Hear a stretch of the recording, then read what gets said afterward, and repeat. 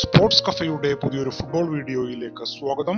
പതിറ്റാണ്ടിന്റെ ലോക ഇലവനെ പ്രഖ്യാപിച്ച International Federation of Football History and Statistics രണ്ടായിരത്തി പത്ത് രണ്ടായിരത്തി ഇരുപത് കാലഘട്ടത്തിൽ ഫുട്ബോളിൽ നിന്ന് കളിച്ച് വിരമിച്ചവരും നിലവിൽ കളിക്കുന്നവരുമായ താരങ്ങളെ ഉൾപ്പെടുത്തിയാണ് പതിറ്റാണ്ടിന്റെ ടീമിനെ പ്രഖ്യാപിച്ചിരിക്കുന്നത്.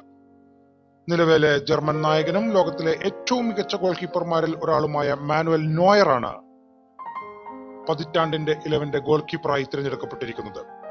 പ്രതിരോധത്തിൽ ബ്രസീലിന്റെ റയൽ മാഡ്രിഡ് താരം മാർസലോ ഹോളണ്ടിന്റെ ലിവർപൂൾ താരം വെർജിൽ വാൻഡൈക്ക് റയൽ മാഡ്രിഡിന്റെയും സ്പെയിന്റെയും നായകനായ സെർജിയോ റാമോസ് ജർമ്മനിയുടെ മുൻ നായകൻ ഫിലിപ്പ് ലാം എന്നിവരാണുള്ളത്. സ്പെയിന്റെ മുൻ ക്യാപ്റ്റൻ ആൻഡ്രസ് ഇനിയസ്റ്റയാണ് മധ്യനിരയുടെ നെടുംതൂൺ. ജർമ്മനിയുടെ ടോണി ക്രോസ് ക്രൊയേഷ്യയുടെ ലൂക്ക മോഡ്രിച്ച് എന്നിവർ മധ്യനിരയിലെത്തി.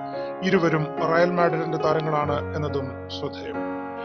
അർജന്റൈൻ നായകൻ ലിയണൽ മെസ്സി പോർച്ചുഗൽ നായകൻ ക്രിസ്ത്യാനോ റൊണാൾഡോ പോളണ്ട് നായകൻ റോബർട്ട് ലെവൻഡോസ്കി എന്നിവരാണ് മുന്നേറ്റ നിരയിൽ ഇടം പിടിച്ചിരിക്കുന്നത്. പി എസ് ജിയുടെ ബ്രസീലിയൻ സൂപ്പർ താരം നെയ്മർ ജൂനിയർ ഉറുഗ്വയുടെ അത്ലറ്റിക്കോ മാഡ്രിഡ് താരം ലൂയിസ് സുവാരസ് എ സി മിലാന്റെ സ്ലാറ്റൻ ഇബ്രാഹിമോവിച്ച് ഡച്ച് താരം Arjen Robben Franck Ribery Xavi Hernandez Manchester സിറ്റിയുടെ playmaker Kevin Kevin De Bruyne തുടങ്ങി നിരവധി താരങ്ങൾക്ക് പട്ടികയിൽ ഇടം കിട്ടിയില്ല. ലോക ഇലവനിലെ പതിനൊന്ന് പേരിൽ ഒൻപത് താരങ്ങളും ബുണ്ടസ് ലീഗ ലാലിഗ ടീമുകളിൽ നിന്നാണ്.